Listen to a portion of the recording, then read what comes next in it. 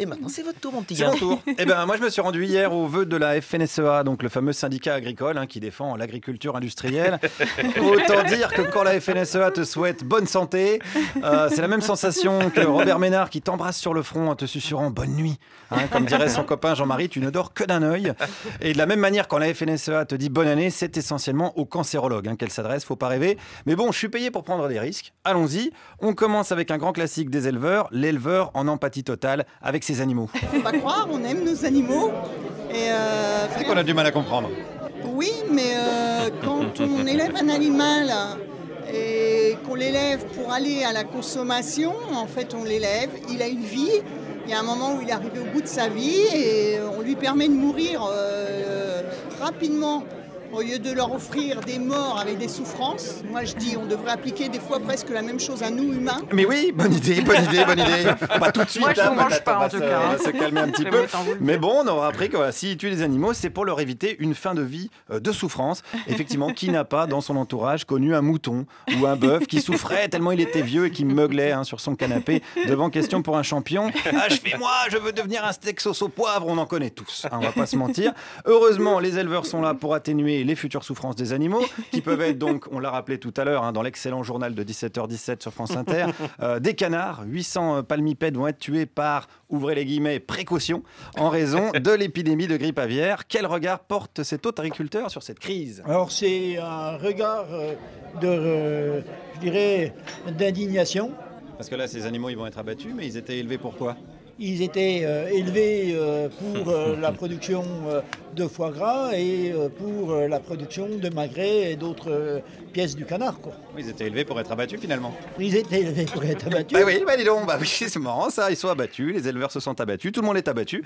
Un problème qu'on retrouve moins tout de même chez les producteurs de haricots verts bio, moins d'abattement, c'est vrai, faut, faut être honnête. Mais ils ont d'autres problèmes, les maraîchers, mais aussi les céréaliers, problème de semences, hein, on le sait, elles sont désormais en grande partie privatisées, c'est-à-dire que les éleveurs doivent payer ce qu'ils sèment. Euh, donc euh, voilà, pour vous expliquer, c'est comme si je privatisais la semence d'Alex Vizorek. Vous voyez, hein, à chaque Faites pas ça, éjaculation, faites pas ça. Alex me ferait un chèque et je serais aujourd'hui certainement propriétaire d'un riad à Marrakech. Est-ce que c'est pas un problème d'avoir privatisé le vivant? Demandons à un autre agriculteur. avoir euh, des semences certifiées, certes qui ont un coût, mais qui du coup sont à même d'avoir une production euh, de qualité et d'assurer quand même. Oui, mais la nature, c'est gratuit normalement. Il y a juste à replanter la graine et. Mais non, bien sûr que non, puisque euh, la- si on ressème en permanence euh, les mêmes semences, il y a, euh, par les phénomènes d'ailleurs de disjonction de caractère, où on perd la qualité intrinsèque à la base de, de- de cette semence. Mais oui, mais quelle est con cette nature Elle perd la qualité intrinsèque de la semence. Mais comment elle faisait sans nous avant l'agriculture intensive? Voilà, elle devait se sentir bien con la nature. Vous avez vu comment elle nous remercie? Hein, Elle crée Cyril Hanouna, les tremblements de terre, le cholestérol. Un gratte Un gratte nature. D'ailleurs, en parlant de cholestérol, tiens, ce monsieur, il était en train de manger du, du pâté en croûte. Plein de bons produits, plein de bons produits français. Bon, combien d'antibiotiques vous venez de manger là dans cette tranche de pâté en croûte? Non, non, on va pas, on va pas partir sur, ce, sur, ce- sur cette pente qui antibiotique. euh, Si on décidait de partir sur cette les pente. Non, non, mais les éleveurs euh, euh, ont recours aux antibiotiques quand c'est nécessaire, mais pas voilà euh, quand c'est nécessaire. Donc si ça se trouve, vous avez mangé des antibiotiques alors vous, vous n'êtes pas malade Non, non, mais attendez, euh, non, non. Ouais, si, si, si, si, si, quand même, hein, les antibiotiques, c'est pas automatique. Euh, sauf peut-être si tu manges de la viande de la FNSEA. Il y a plus de chimie de synthèse dans un steak que dans les veines d'Iggy Pop. Euh, dernier sujet, dernier sujet, un incendie criminel d'une ferme d'élevage dans la Creuse.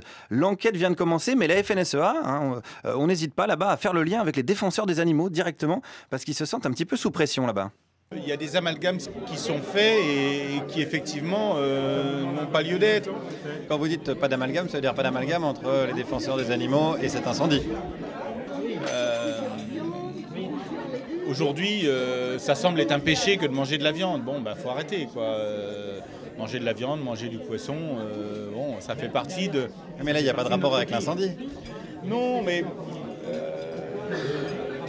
Mais il est chiant. il est- Ouais, bah, je suis chiant, on me le dit tous les jours, mais c'est mon métier, qu'est-ce que vous voulez? Alors, histoire d'être chiant, mais vraiment jusqu'au bout, je suis allé interroger directement Xavier Belin, c'est le patron de la FNSEA, voilà, c'est le chef. Alors lui, il n'hésite pas à faire des liens entre l'incendie et les défenseurs des animaux. Je suis moi convaincu qu'il y a évidemment des liens.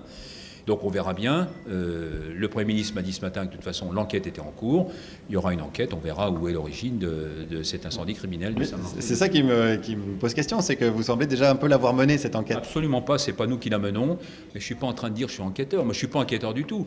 Je fais un constat. Voilà, bah écoutez, moi aussi je fais un constat. Je fais le constat qu'il vaut mieux faire gaffe à ce que vous avalez, au sens propre comme au figuré. Merci Guillaume Meurice.